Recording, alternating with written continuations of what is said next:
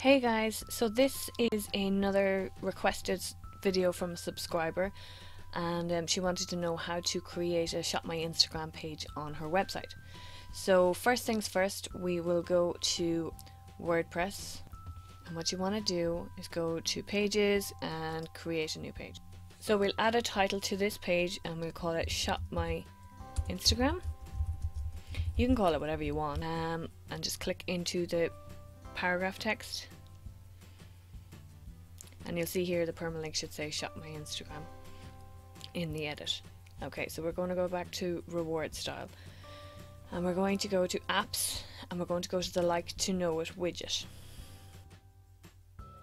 In the like to know it widget you can change all of the settings. So you select your profile. If you've more than one just click it from the drop down. You can change the width of the page, generally somewhere between 600 and 800 pics if you wanted to go the width of your page. Image padding just means the spacing between the images. I'm just going to put it up to 10 just so you can see the difference. So if you want four rows, four columns, you can do it that way. I like to have just three because it makes them nice and big so that you can see all of this stuff. You can have frame or no frame, so shop the feed if you want, but I tend to leave that out and you can write your own text onto your page you come down here and you hit copy code which will be the code for WordPress. Obviously select your own from the drop down menu if you're not on WordPress.